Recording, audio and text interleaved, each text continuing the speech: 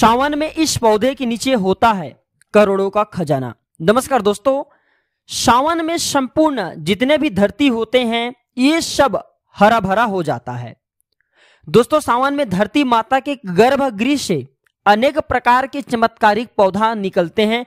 अनेक प्रकार के चमत्कारिक पौधा निकलना शुरू हो जाते हैं। और सावन के आखिरी तक, अर्थात सावन समाप्त होने तक, पूर्ण रूप से सारे पेड़ पौधा निकल आते हैं।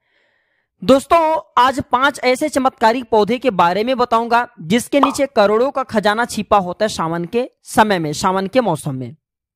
और दोस्तों, आप भी थोड़ी सी मेहनत करके इन खजानों को पा सकते हैं। दोस्तों, इस पौधे का उल्लेख जिसके अंदर में खजाना छिपा होता है, हमारे प्राचीन ग्रंथ, रावण संहिता, वाराह संहिता एवं इंद्रजाल जैसे चमत्कारी किताबों में लिखे हैं। दोस्तों, ये खजाना मैं आप लोगों को बताऊँगा कि किस प्रकार से आपको प्राप्त होगा। और दोस्तों, ये खजाना बहुत लोगों को प्राप्त भी हो चुका है, लेकिन वो लोग इसके बारे में किसी और को बताना नहीं चाहते। दोस्तों, उन्हें यह डर बना रहता है कि उनके इस जानकारी से, उनके इस ज्ञान को अगर कोई और सीख जाए तो उनके पेट पर लात पड़ सकते हैं। दोस्तों, यह जानकारी आप लोगों के जन कल्याण के लिए हमारे चैनल प्राचीन ज्ञान में साझा की जा रही है, ताकि आपकी भी गरीबी जल्द मिट सके। दोस्तों, प्राचीन ज्ञान हमारे जो प्राचीन ज्ञान चैनल है, भारत का सबसे बड़ा तांत्रिक अध्यात्म एवं आयुर्वेद की चैनल है, जिसमें जीवन को सुखमय बनाने का अनेक उपाय एवं साधन दिए गए हैं। दोस्तों, आप सभी लोगों से एक छोटा सा रिक्वेस्ट करना चाहूँगा। जब भी आप इस खजाने को प्राप्त करना चाहे तो दोस्तों, इस पौधे के नीचे खजाने तो होता है, लेकिन इसके नीचे विशेले सर्प भी होता है। तो थोड़ा सा सावधानी पूर्वक इन पौधे के नीचे में जाना है और आपको खजाने को प्राप्त करना है। तो कौन सी ऐसे पाँच चमत्कारिक पौधे हैं जिसके नीचे में खजाना छुपा होता है? इस वीडियो में जानते हैं। इससे पहले थोड़ी सी जानकारी बताना चाहूँगा कि सावन में ही इस पौधे के नीचे में क्यों पाया जाता है खजाना। दोस्तों, दरअसल जो सावन में मृत पड़े पेड़ पौधे होते हैं, इन पर पुनः जान आ जाते हैं। और नष्ट हुए पेड़ पौधे भी सावन की रिमझिम बूंद पड़ते ही पुनः धरती मैया के गर्भगृह से निकलना शुरू हो जाते हैं। तो इससे इन पेड़ पौधे की पहचान करना बहुत ही आसान हो जाता है।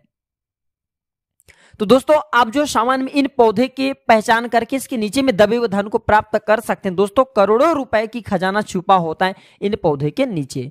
दोस्तों, जानकारी बताने से पहले, वीडियो में आगे बढ़ने से पहले सभी लोगों से निवेदन करना चाहूँगा। अगर आप भी भगवान भोलेनाथ जी को दिल से मानते हैं, दोस्तों, कॉमेंट बॉक्स में जय भोलेनाथ ज़रूर लिखना। और हाँ हमारे वीडियो को अभी तक लाइक नहीं किए तो वीडियो को लाइक कर, चैनल को सब्सक्राइब ज़रूर कर लेना। दोस्तों, आपके एक सब्सक्राइब हमारे लिए कीमती होता है।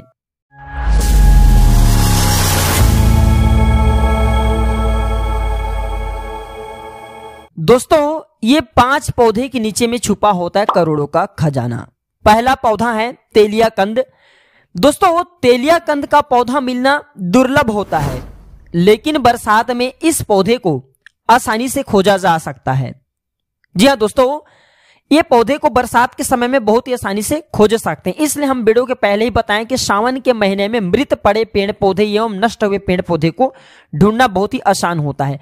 तो तेलिया कंद नाम के पौधे, ये मिलना दुर्लभ होता है, लेकिन बरसात के समय में इस पौधे को बहुत ही आसानी से आप जो दोस्तों ढूंढ सकते हैं, प्राप्त कर सकते हैं। इस पौधे के ऊपर, ये आसपास में निरंतर तेल का रिसाव होता रहता है। ये इस पौधे की लक्षण है, पहचान है। दूसरी बात, इस पौधे की कंद पर लोहे का सुई चुभाने से वह गल जाता है। दोस्तों, ये पौधे की दूसरा पहचान है। दोस्तों, बारह वर्ष पुराने पुरुष तेलिया कंद के नीचे गड़ाधन छुपा होता है। बारह वर्ष पुराने पुरुष तेलिया कंद के नीचे दबा हुआ धन छुपा होता है और सावन के महीने में लक्ष्मी मैया एवं अन्य देवी देवता पृथ्वी लोक पर भोलेनाथ जी की पूजा करने, आराधना करने आते हैं। तो उनके आने के कारण अलौकिक शक्ति के प्रभाव से, क्योंकि लक्ष्मी मैया आती, अन्य देवी देवता आते हैं तो उनके अलौकिक शक्तियाँ भी उनके साथ में आते हैं। तो अलौकिक शक्ति के प्रभाव से ज़मीन में गड़ा धन, इसके नीचे में जो ज़मीन में गड़ा धन होता है, एक फीट के नीचे ऊपर आ जाता है। और ऐसा माना जाता है कि जड़ी, बूटी के भगवान भोलेनाथ एवं माता पार्वती को कहे गए हैं। स्वयं जड़ी बूटी को भगवान भोलेनाथ एवं माता पार्वती के स्वरूप कहे गए हैं। और इन पेड़ पौधे पर सावन के समय में भगवान भोलेनाथ तथा माता पार्वती की ऊर्जा शक्ति जागृत अवस्था में होती है। चूँकि दोस्तों, सावन के समय में धनवंतरी जी एवं अश्वनी कुमार अश्वनी कुमार को आप भली बात ही जानते होंगे, दोस्तों, इसे देवताओं का वेद कहा जाता है। तो इन पेड़ पौधे पर वास करते हैं, इसलिए सावन के समय में इनके नीचे में गड़े हुए धन को प्राप्त करना बहुत ही आसान हो जाता है। दूसरा पौधा नोट करें दोस्तों, मशरूम का पौधा। ध्यान से नोट करें। दोस्तों, मशरूम के नीचे भी करोड़ों का खजाना छुपा होता है, लेकिन दोस्तों, ये वो मशरूम नहीं जो हमारे घरों के आसपास में पाए जाते हैं। दोस्तों, ये मशरूम साधारण मशरूम से अलग होते हैं। इससे आप इन लक्षणों से पहचान कर सकते हैं। इनके लक्षण कुछ इस प्रकार से हैं। दोस्तों, इस मशरूम की आकृति सर्प के जैसा होता है। दोस्तों सर्प की जो ऊपरी हिस्से होता है, उसी तरह से इस जो मशरूम है, जिसके नीचे में गड़ा धन छुपा होता है, इनकी आकृतियाँ होती हैं। दोस्तों, ये मशरूम हमेशा नाग नागिन की तरह दूर से दिखाई देगा और इस मशरूम की आयु क्षमता साधारण मशरूम की अपेक्षा अधिक होती है। अर्थात दोस्तों, जैसे कि साधारण मशरूम दो दिनों में खत्म हो जाते हैं तो उनके तुलना में ये मशरूम पाँच से एक सप्ताह तक, पाँच दिनों से लेकर के एक सप्ताह तक इन्हें कुछ भी क्षति नहीं होता। दोस्तों, इस मशरूम से इत्र जैसा सुगंधित खुशबू आता है, जिसके नीचे में गड़ा धन छुपा होता है, इस मशरूम के नीचे से इत्र जैसा सुगंधित आता है। एवं जहाँ ये उगा होता है, उस भूमि में गर्माहट होती है। ये है इस मशरूम के लक्षण और इसके नीचे में दबाव धन को प्राप्त करने का तरीका। तीसरा पौधे हमारे नोट करें दोस्तों। तीसरा पौधे हैं काला हल्दी। दोस्तों, जंगल में पाए जाने वाले जो काला हल्दी होता है, इसके नीचे में करोड़ों का खजाना छिपा होता है। बहुत ही कम लोगों को ये जो काला हल्दी, इसके बारे में ज्ञान प्राप्त हुआ है। दोस्तों, काला हल्दी का पौधा साक्षात धन खींचने की चाबी माना जाता है, साक्षात माता काली एवं माता लक्ष्मी के स्वरूप माना जाता है। दोस्तों, इसके घर में होने से धन का भंडार भर जाता है। हमने अपने चैनल में काला हल्दी के चमत्कारिक फ़ायदे के बारे में एक वीडियो बनाए हैं, आप चाहें तो वह वीडियो भी जा करके हमारे चैनल में देख सकते हैं। तो दोस्तों, जो काला हल्दी का पौधा होता है, जहाँ पे बिना उगा ही काला हल्दी के पौधा उगाए और ये जंगली स्थान पे या फिर निर्जन स्थान पे, जहाँ लोग का आना जाना कम हो, जहाँ पे लोग आते जाते ना हो, वहाँ पे अगर काला हल्दी उग आए तो वहाँ पे समझ जाना बिल्कुल ही ज़मीन में दबा हुआ धन छुपे हैं और सावन के महीने में इन धन को आप बहुत ही आसानी से प्राप्त कर सकते हैं। दोस्तों, मैं इस वीडियो में सावन के महीने को क्यों बोल रहा हूँ? दोस्तों, क्योंकि सावन के महीने में जितने भी इस संसार में धन, दौलत, ऊर्जा, शक्ति, ये सब जागृत अवस्था में होती, सब में चैतन्य आ जाती हैं। दोस्तों, धन की देवी माता लक्ष्मी को हम सब बोलते हैं, लेकिन धन की देवी माता लक्ष्मी को धन देने का दर्जा, धन देने का पद कौन दिए? भगवान भोलेनाथ दिए। इसलिए उनका भी कर्तव्य बनता है कि सावन के महीने में अपने सभी धन को भगवान भोलेनाथ को निछावर करे। इसलिए भूभाग पर जब भगवान शंकर जी माता पार्वती, अर्थात दोस्तों ये जब भूलोक पर माता पार्वती भगवान भोलेनाथ आते हैं तो ये सारे धन ऊपर में आ जाते हैं।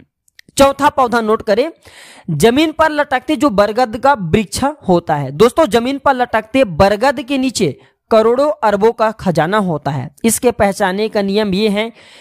और दोस्तों, ये सारे धन भूभाग की ऊपरी सतह पर 12 फीट के नीचे में रहते हैं। तो जिस बरगद के वृक्ष के आसपास पुराने मंदिर हो वहाँ पे ज़मीन में दबा हुआ धन होता है सावन में आप इसे प्राप्त कर सकते हैं। या आसपास पुराने ईट मिले। जी हाँ दोस्तों, जो आसपास पुराने ईट मिले तो समझ जाना वहाँ पे भी ज़मीन के आसपास में करोड़ों रुपए का दबा हुआ धन है। पुराने मिट्टी के बने खिलौने मिले, कौड़ी मिले, चूड़ी मिले, या फिर कंकाल मिले। तो समझ जाना दोस्तों, उस बरगद वृक्ष के नीचे में दबा हुआ धन निश्चित रूप से है और इस धन की रखवाले बरगद वृक्ष में रहने वाले ब्रह्म कर रहे हैं। तो दोस्तों, इस ब्रह्म को भी मनाना बहुत आसान है। पाँच प्रकार के आप उन्हें भेड़ देते हैं, भोग देते हैं। पाँच प्रकार की मिठाई का बने, दूध का बना हुआ मिठाई का भोग देते हैं। तो वह जो ब्रह्म है, वो शांत हो जाते हैं और आप उन धन को प्राप्त कर सकते हैं। इसके बाद है दोस्तों, सफ़ेद मदार की पौधा। मदार के जड़ पर साक्षात धन का भंडार होता है। ग्यारह वर्ष पुराने मदार की पौधे की जड़ गणेश जी की आकृति ले लेता है। तो ऐसा माना जाता है, भगवान भोलेनाथ को सफ़ेद मदार की पुष्प अत्यंत प्रिय है। गणेश जी को सफ़ेद मदार की पुष्प अत्यंत प्रिय है। तो जिस स्थान पर बिना उगा ही इक्कीस पौधे से अत्यधिक अगर सफ़ेद मदान की पौधे हो तो वहाँ में, वहाँ पे सावन के समय में उन वृक्षों की जड़ पर आकर के धन स्वयं वास करते हैं। अर्थात दोस्तों, धन, दौलत जो ज़मीन में दबा हुआ धन होते हैं, ये वास करते हैं। आप इन्हें बहुत आसानी से प्राप्त कर अपनी गरीबी को मिटा सकते हैं। दोस्तों, पांचवा एवं अंतिम जो हमारे पौधे हैं, दोस्तों, जिस वृक्ष पर 11 से अत्यधिक मधुमक्खी छत्ता बनाए हो जिस वृक्ष पर वैसे तो सामान्य मधुमक्खी दो से तीन ही छत्ता बनाते हैं, लेकिन जिस वृक्ष पर 11 से अत्यधिक मधुमक्खी छत्ता बनाए हुआ निश्चित रूप से दबा हुआ धन होता है, आप इन्हें प्राप्त कर सकते हैं। तो दोस्तों, आप अभी सावन के महीने में इन पाँच पौधे पे बहुत ही आसानी से रिसर्च करके इनके ज़मीन में दबा हुए धन को प्राप्त कर अपनी गरीबी को मिटा सकते हैं। तो दोस्तों, ऐसी रोचक जानकारी पाने के लिए हमारे चैनल प्राचीन ज्ञान को सब्सक्राइब करना न भूले, और अंतिम बात बोलना चाहूँगा दोस्तों, अगर आप भी भोलेनाथ को दिल से मानते तो कमेंट बॉक्स में जय भोलेनाथ ज़रूर लिखना। दोस्तों, शायद हो सकते हैं आने वाले समय में आपको भी ज़मीन में दबा हुआ धन मिल जाए। इन लक्षणों से अवश्य आप पता करें, आपकी गरीबी जल्द मिटेंगे।